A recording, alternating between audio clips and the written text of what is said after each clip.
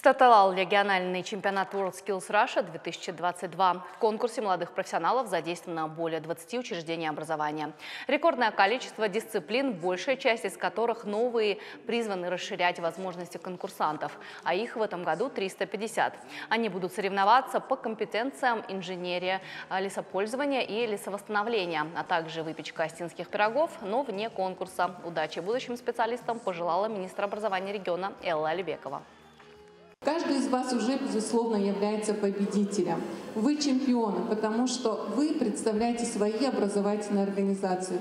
Вы уже лучшие в своей области. Через два месяца в нашем регионе будет проходить впервые по пяти компетенциям отборочный этап национального чемпионата WorldSkills что является для нас тоже очень важным событием. Конечно же, каждое учреждение будет к этому готовиться.